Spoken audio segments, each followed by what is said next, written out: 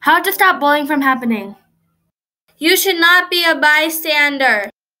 You should help someone out if they're getting bullied. If you see someone getting bullied, then tell the bully to stop. If they do not listen to you, then tell an adult or a teacher.